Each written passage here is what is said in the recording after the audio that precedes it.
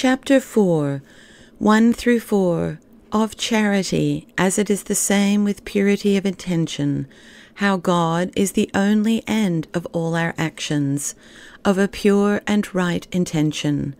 5 through 9 Instructions how to get purity of intention, especially by the means of prayer. 10.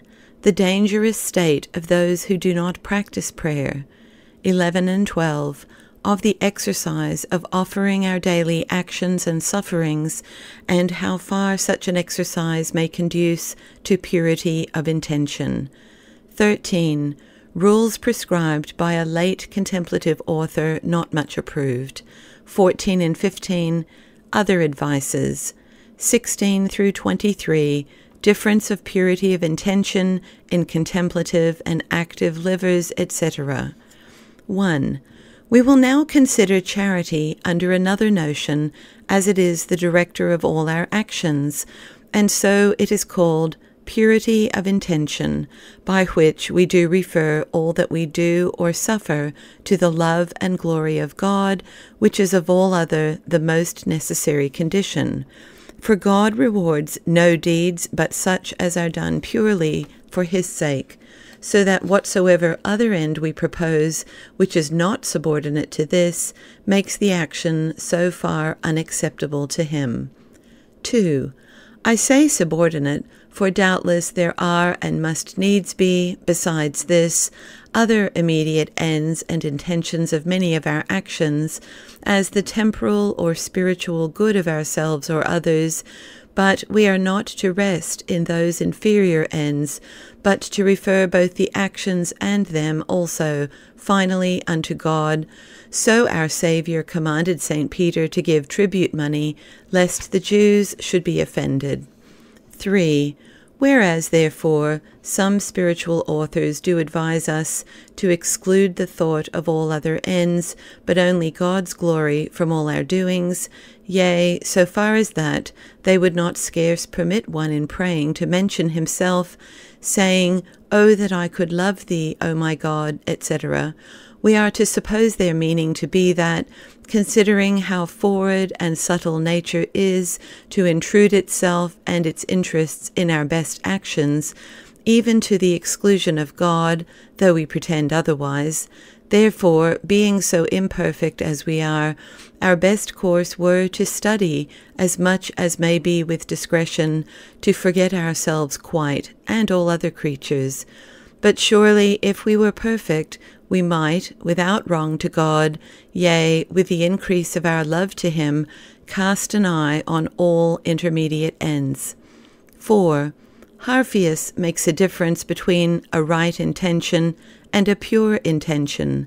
The former he appropriates to good active livers who, according to the substance of their actions and the general purpose of their hearts, do indeed in all things desire to seek God's glory, but yet, for want of the practice of pure spiritual prayer, they mix many undiscovered designs of nature in their good actions, the which do so far abase the value of them but the intention of perfect contemplative livers he calls a simple or pure intention, because it proceeds from a purified interior.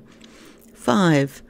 Now, for the obtaining of such a pure and simple intention, I will endeavor, according to my small experience and the best light that God has given me, to yield the best information and help I can in the following instructions, the which do properly belong to souls in a contemplative course. And they are to be regarded, and use in particular made of them, only so far as devout souls shall find them to be proper and profitable for them in particular and as they are suitable to their divine calls respectively, which are much more to be regarded than all human instructions. 6. First, therefore, let a well minded soul that leads an internal life by reading, conferring, considering, and praying get to understand the best she can what the true and perfect love of God is and wherein it consists. 7 Secondly, this being done, let her, by the grace of God assisting her, seriously purpose with herself, yet so that she do not fetter herself by any vows or obligations, by all the best means she can, to labor for the attaining to the said love of God, and also purely for God's sake and to his glory, and no natural interests of her own, to intend the doing and suffering of all things that she shall afterwards do or suffer. 8. Thirdly, since this love is only to be obtained by the means of prayer and mortification, let her resolve to abide in the prosecution of these, according to the directions here given, to her life's end, not voluntarily resting in any degree of love already attained, but still proceeding further without all limits. And let this good resolution let her accordingly with courage put in execution daily, often renewing it when she finds herself to become slack or negligent. 9. Lastly, in the execution of these duties and of all other her employments, she must always have at least a virtual intention of directing them all to God, making Him the final end of all, and oftentimes likewise she must frame an actual intention of the same, now, when God is indeed, and in the true disposition of the soul, the end of her actions, he communicates a supernaturality and a kind of divinity unto them, and unless he be truly the end, they have no merit at all. 10. Now, it being certain that only by the practice of internal prayer this purity of intention can be obtained, in what danger are those souls that do wholly neglect it? Neither will a few interrupted occasional offerings of our actions to God be sufficient to procure a stable habit of such purity without constant set exercises of prayer and mortification. All the virtue that such oblations have is a little to diminish the impurity of those particular actions, but they do not at all or very inconsiderably, increase or strengthen the habit of divine love in the soul. The virtue, therefore, of such acts is to be measured according to the state that the soul is in. 11. If an internal liver do practice such occasional offerings of daily actions, I should advise him 1 not to multiply such acts too thick one upon the other, so as to endanger to hurt the head or distract the imagination or hinder the necessary liberty of spirit. 2.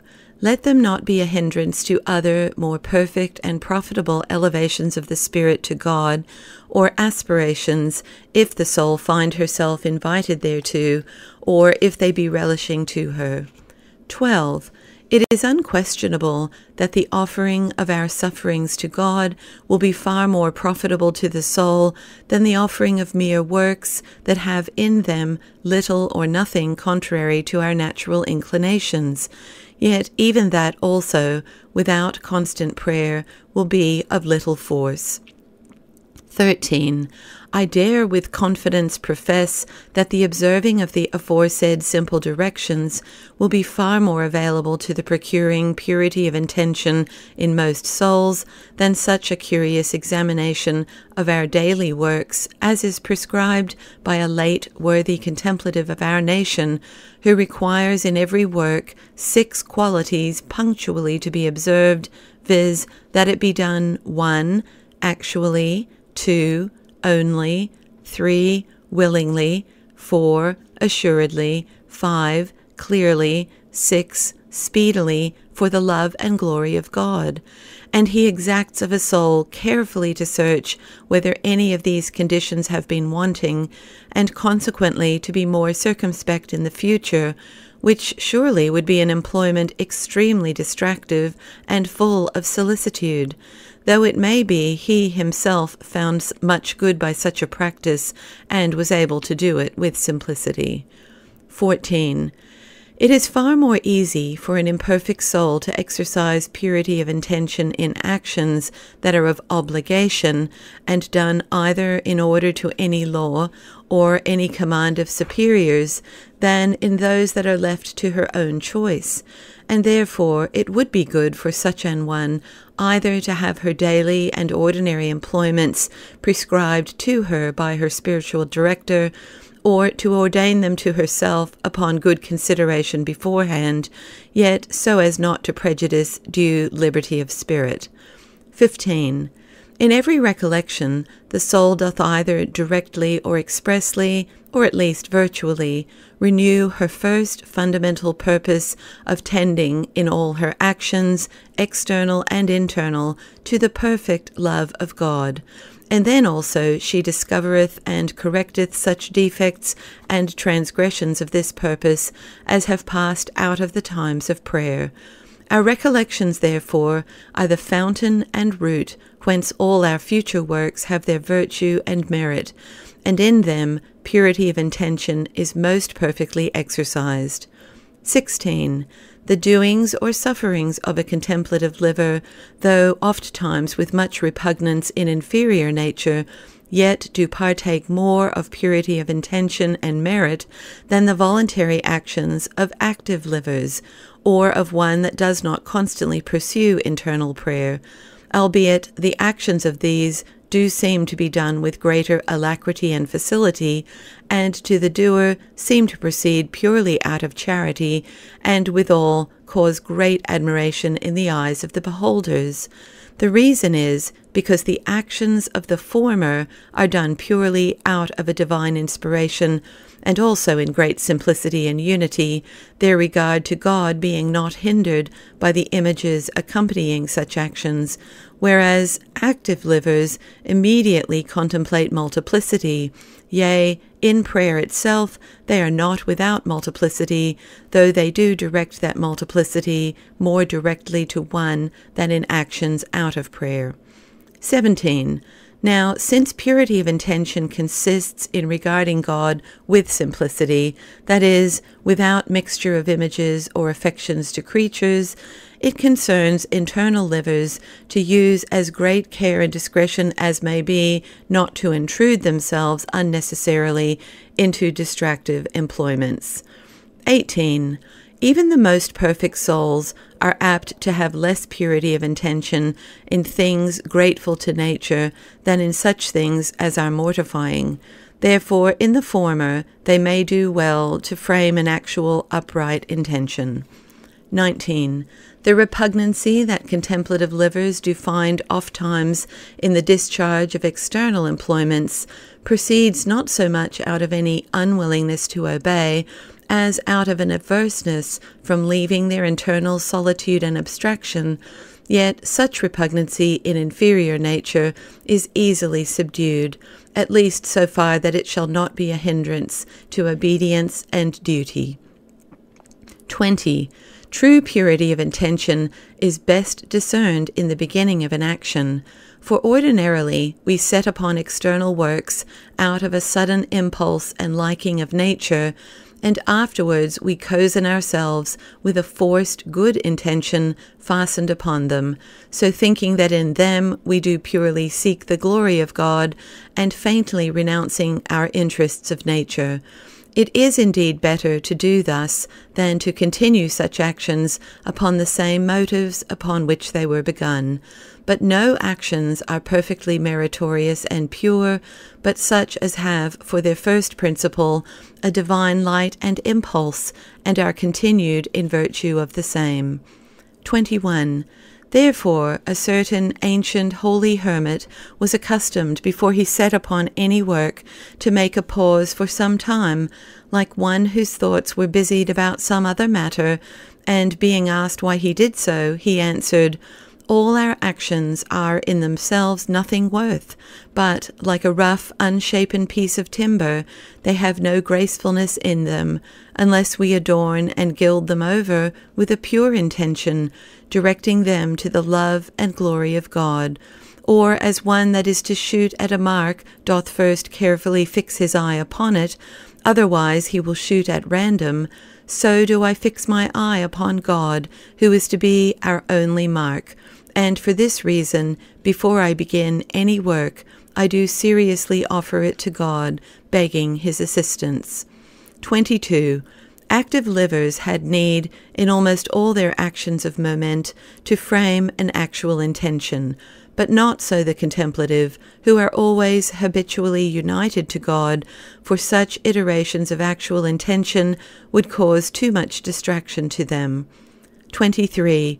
To conclude, how difficult and uneasy soever to nature the attaining to purity of intention be, because thereby the very soul of corrupt nature, which is propriety, is rooted out.